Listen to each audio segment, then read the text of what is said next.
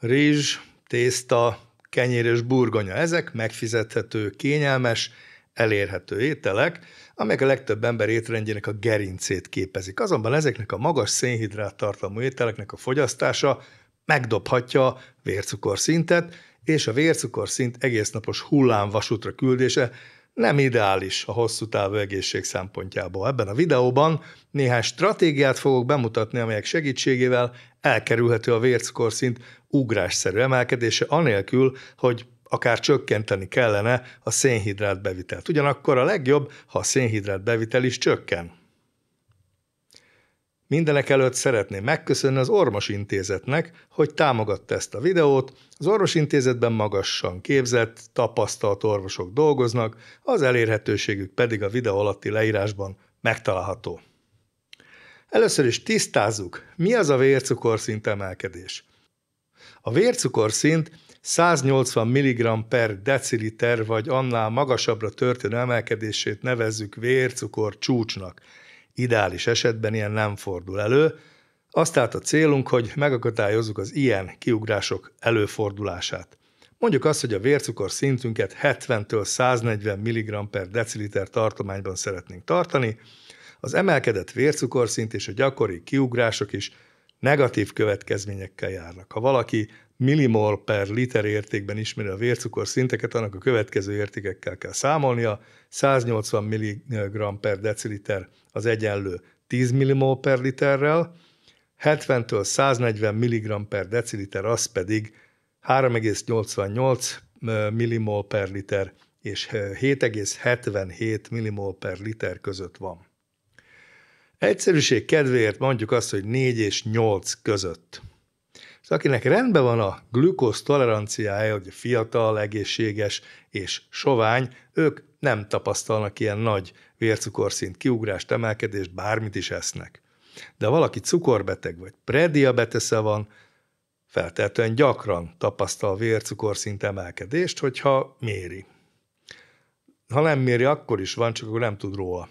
Az újabb tanulmányok szerint pedig még akkor is, ha ezek nem állnak fent, tehát se diabetes, se prediabetes, az idősebb vagy túlsúlyos egyéneknél a vércukorszint akkor is megugorhat bizonyos élelmiszerek hatására, hogyha konkrétan hát nem deklarált betegségen vagy mondjuk prediabetes van.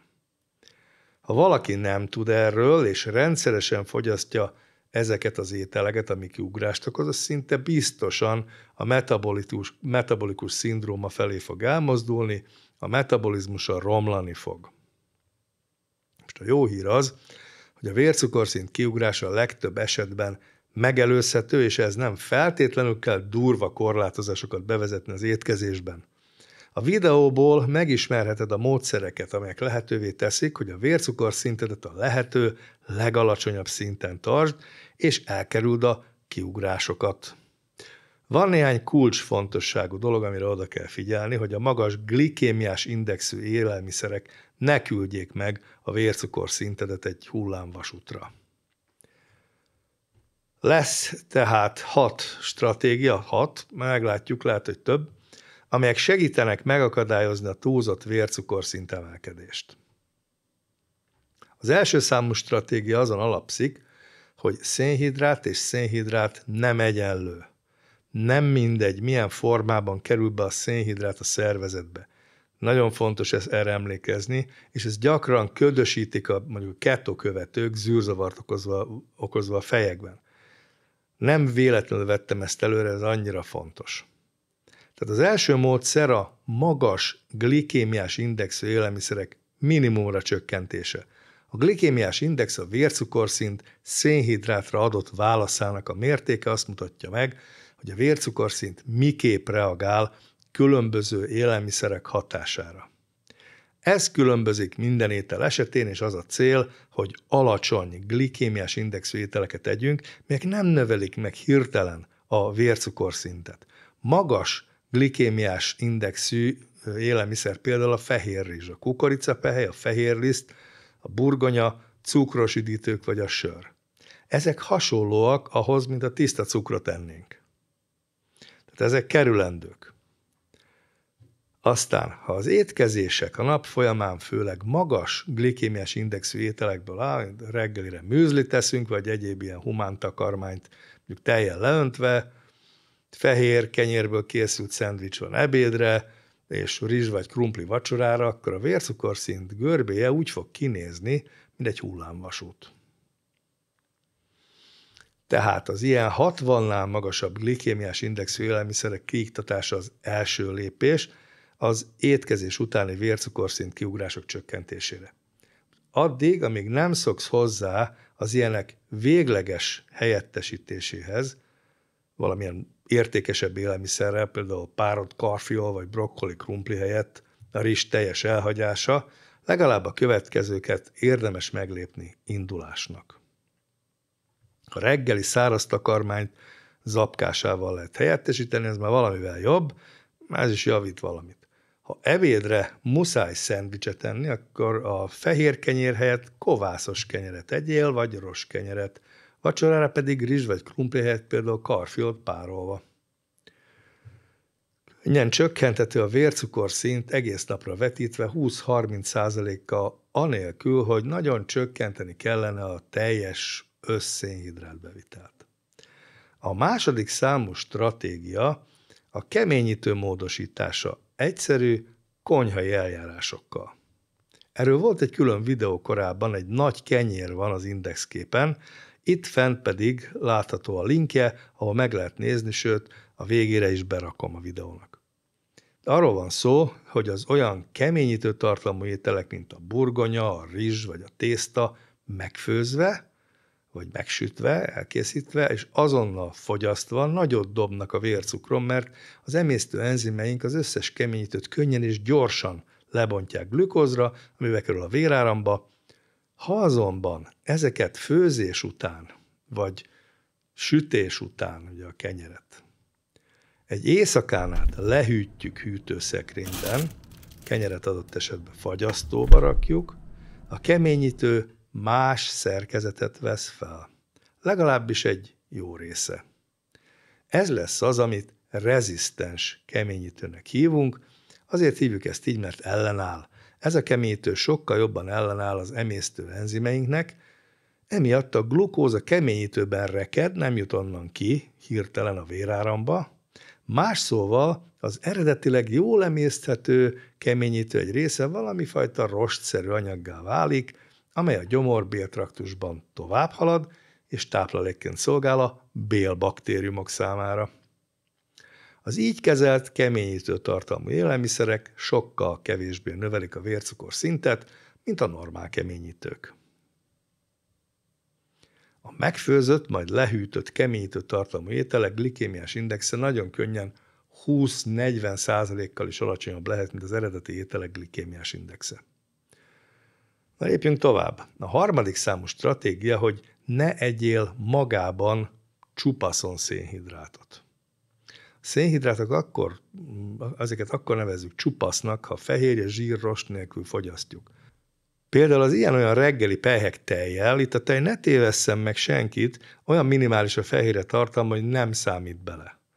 Kakaó kaláccsal vagy kiflivel, fehér kenyér lekvárra, ha valamennyit fehérjét adunk a szénhidrátban gazdag étkezéshez, a vércukorszint kiugrás jelentősen kisebb. Zöldségekből származó zsiradék vagy rost hozzáadása szintén segíthet. Erre kiváló például a dió. Minél magasabb az élelmiszer glikémiás indexe, annál fontosabb a fehér és rost hozzáadása. Hús, hal, joghurt, bab, lencse, ki tudja mi, tofu, mind jó választás. Hozzáadhatunk még dión kívül más magvakat is, avokádót, ha van olajbogyót, kis olívaolajat. Figyelem, itt most nem azt mondom, hogy ezzel megoldódott minden, lehet tolni a kenyeret jól megzsírozva, valami zöldséget rágva hozzá. Ez a stratégia arra van, ha valaki az elején képtelen elszakadni a szénhidrát függőségétől, ugyanis van ilyen, ezért kezdetben ebbe az irányba induljon mondjuk a lekváros kenyér helyett. Az a legrosszabb. Következő a negyedik stratégia, hogy a magasabb glikémiás indexű ételeket nem magas, keményítő tartalmú zöldségekkel kombináljuk. Ez kicsit hasonlít az előző ponthoz, de ez már abban az irányba mutat, hogy szoktatjuk a bélflórát ezekhez. Későbbekben ugyanis fokozatosan el lehet hagyni a magas glikémiás indexű ételeket, és maradnak ezek a zöldségek, valamilyen fehérje forrással, vagy minimálisra visszük le a burgonyát, és sokkal több olyan zöldséget teszünk, aminek a glikémiás indexe alacsony. Ilyen zöldségek a hagyma, póréhagyma, zeller, leveles zöldségek, spenót, keresztes virágú zöldségek, természetesen brokkoli, káposzta, karfiol. A vércukorszint akkor is alacsonyabb lesz, a fehérje és rostforrást teszünk először, és csak utána eszünk több szénhidratot tartalmazó ételeket. Ez tipikus, hogy először eszünk egy salátát, és akkor utána eszünk tudom, húst valamivel. Érdekes megfigyelés az is, hogy ha szénhidrátot eszel, a szervezetet készen áll több szénhidrát érkezésére, és ugye fordítva, ha nem eszel szénhidrátot, akkor a szervezetben enyhén csökken a szénhidrátok kezelési képessége. Emiatt, ha valaki alacsony szénhidrát tartalmú étrenden van, akkor minden étkezést alacsony szénhidrát tartalommal kell lennie, és nem oda-vissza váltogatnia az alacsony és magas szénhidrát tartalmú ételek között. Van egy másik aspektusa is ennek. Ha egy étkezés fehérjében vagy rostban gazdag, akkor ez még a következő étkezésnél is csökkenti a vércukorszintet. Tehát ez is egy külön stratégia lehet, hogy ne úgy együnk, hogy mákos tészta van ebédre, este meg sült hús salátával. Lehetőleg minden étkezés tartalmazzon valami fehérjét és rostot is. Ötödik stratégia, sétálni az étkezés után. Amikor étkezés után megemelkedik a vércukorszint, az inzulin hormon kiválasztását váltja ki. Az inzulin sok mindenért felelős, az izomban konkrétan az inzulin receptorhoz kötődik, ami aztán sejten belüli változásokhoz vezet, aminek következtében a glükóz a vérből bejut az izomsejtekbe, ami csökkenti a vércukorszintet. Ez a mechanizmus nem működik tökéletesen olyan embereknél, akiknél inzulin rezisztencia áll fenn. És itt van a jó hír. Az izomsejtek az inzulintól független módon is felvetik a glükózt a vérből, ha működés alatt állnak. Az étkezés utáni izom összehúzódások jelentősen csökkentik a vércukorszint emelkedését. Az adatok alapján a mozgást az étkezés befejezése után kb. 30 percen belül el kell kezdeni. A legtöbb ember nyilván nem szeretne erőteljesen edzeni étkezés után, de 10-15 perc séta a háztöm körül már eredményt adhat. Azt mondanám, hogy minél hosszabb a séta, annál jobb. A hatodik stratégia az adatok méretének kontrollja. Ügyelni kell az adatok mér... adatok? Ügyelni kell az adatok... adatok, adagok. Ügyelni kell az adagok méretére, hogy elkerüld a túlzott szénhidrát bevitelt. A nagy adagok túlterhelik a szervezet azon képességét, hogy hatékonyan szabályozza a vércukorszintet. Gyakorlati tanács, érdemesebb kisebb tányérokat használni, Figyelj arra is, ez is egy stratégia lehet, hogy hidratált legyél. A kiszáradás befolyásolhatja a vércukorszint szabályozását, és hozzájárulhat az étkezés utáni cukorkiugrásokhoz. Sőt, az éjségérzet is fokozottabb, ha nincs kellő folyadékbevitel. A következőt pedig szeretni fogod, mert egy természetes anyag kiváló hatásokkal. A fahéj egy olyan népszerű fűszer, amely különleges ízéről ismert, de a vércukorszintre gyakorolt hatását kevesebben ismerik. Az eddigi tanulmányok azt sugalják, hogy a fahé segíthet a vércukorszint szabályozásában és csökkenti az étkezés utáni cukorkiugrások kockázatát. Tehát a fahé először is fokozza az inzulinérzékenységet, ami azt jelenti, hogy javíthatja a szervezet inzulinra adott válaszát. Egyfajta módon az inzulin hatását utánozza. A jobb inzulin érzékenység pedig a sejtek hatékonyabb glükóz felvételét eredményezi, csökkentve a vércukorszint kiugrások valószínűségét is. Ráadásul a fahé lelassítja az élelmiszerek gyomorból való kiürülésének sebességét, ami a glükóz elnyújtottabb felszabadulásához vezet, hogy lassabban kerül át, tehát nem olyan hirtelen jut be a véráramba. Továbbá bizonyos kutatásokból úgy tűnik, hogy a fahéj gátol enzimeket, amelyek részt vesznek a szénhidrátok emésztésében. Ebből az következik, hogy a szénhidrát megint csak a bélben marad, a mikrobiom számára, és nem szívódik fel. Hogyan vigyük be a fahéjat? Nos, hát ugye a megszokásokkal szakítani kell, fahéjas csiga az nem egy jó megoldás, de lehet szórni fahéjat zappehelyre, joghurtra, turmixokra, zöldségekre, fontos a kreativitás. Ugye erre, erre felé a kárikban van, de hát otthon ez nem egy gyakori étel. Aztán jó lehet ilyen fahéjas teja is, ha van fahérúd otthon, ezt lehet forró vízbe áztatni, aztán citrommal ízesíteni. No, hát nagyjából ezt tudtam volna mondani a cukor és inzulin kiugrásokra, és remélem, hogy nem fog ugrálni a cukrod. Jó éjszakát!